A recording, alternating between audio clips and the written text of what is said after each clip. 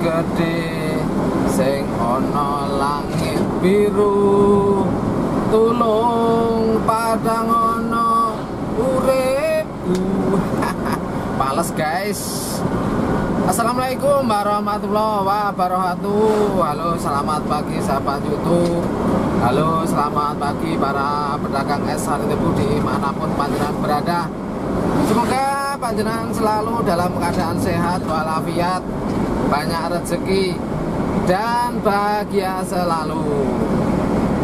Setelah sekian lama saya tidak upload video ya mungkin karena kesibukan kirim-kirim tebu yang baru overload.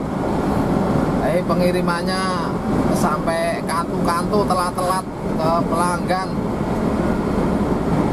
Karena di puncak musim panas ini permintaan tebu luar biasa dan ditambah lagi dengan bertambahnya pelanggan dari AB Sari Tebu Yogyakarta. Perlu diketahui buat teman-teman semua bahwasanya harga tebu telah naik ya. Naik menyentuh rekor tertinggi nih untuk tahun ini. Untuk tahun ini harga tebu udah naik ke puncak tertingginya.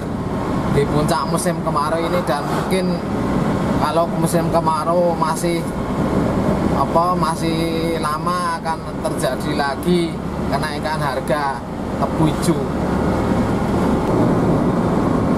Memang harga tebu di sawah dan di pelanggan itu harganya naik dan turun guys.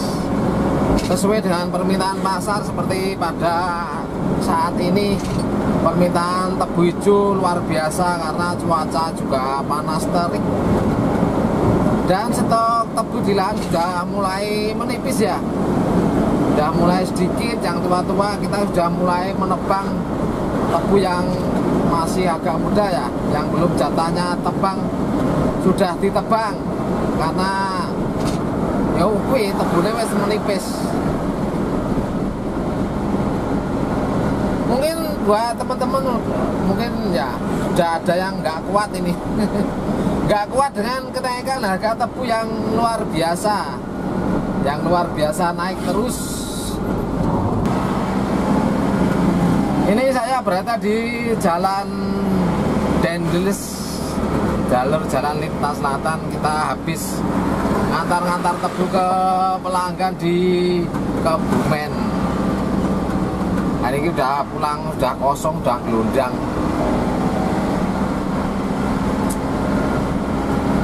oh ya tebu ini ter, apa cukup membuat saya pusing. Untuk menaikkan harga jual ke pelanggan itu tidak semudah membalikkan telapak tangan guys. Antara kasihan dan wis kepepet arah iso munggah ya piye kene operasionale ya munggah. Operasionale nek ora diunggahke rega tebune ora nutup